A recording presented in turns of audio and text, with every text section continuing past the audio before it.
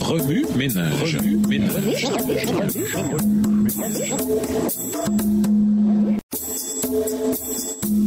Remue ménage. Remue ménage. Bienvenue à votre émission. Remue ménage. Nous voilà à la leçon 5, l'expérience de l'unité dans l'Église primitive. Tous s'appliquaient fidèlement à écouter l'enseignement que donnaient les apôtres, à vivre dans la communion fraternelle, à prendre part au repas commun et à participer aux prières. Acte 2, verset 42. À travers le jeûne, la prière et la communion fraternelle, nous devons sonder et étudier les Écritures avec ferveur, car elles nous conduisent vers la vérité. Être ensemble, travailler ensemble. Lisons Acte 2, verset 44. Acte 2, verset 44. Tous les croyants vivaient unis entre eux et partageaient tout ce qu'ils possédaient. Tout a commencé par une conversation sur Facebook. Ma nouvelle amie était adventiste. Elle m'a posé directement cette question. Où vas-tu à l'église?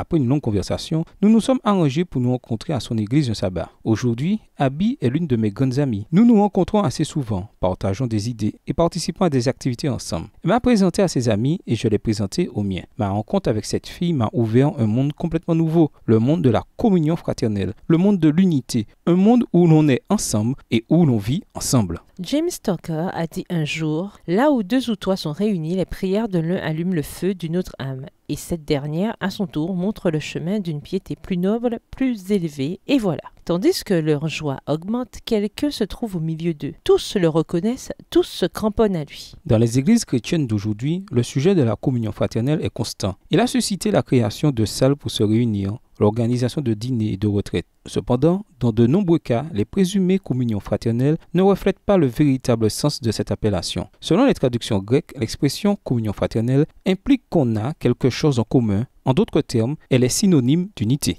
Le sujet de l'unité de l'Église est pour les chrétiens d'aujourd'hui aussi important qu'il l'était pour l'Église primitive. La Bible nous amène aux expériences initiales de l'unité, lorsque les croyants en Christ s'appliquaient fidèlement à écouter l'enseignement que donnaient les apôtres, à vivre dans la communion fraternelle, à prendre part au repas commun et à participer aux prières. Acte 2, verset 42.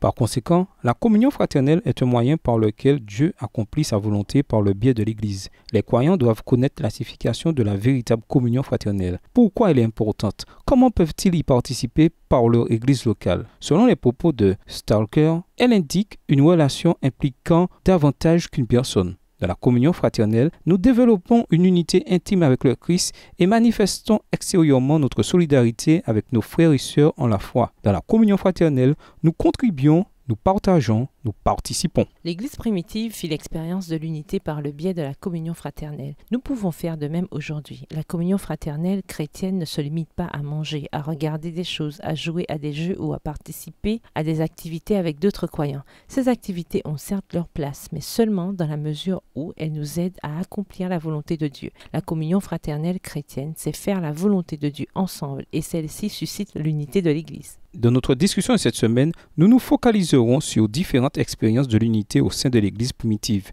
et sur ce que nous, au XXIe siècle, pouvons apprendre de telles expériences. Au revoir et à demain si Dieu veut. Remue ménage.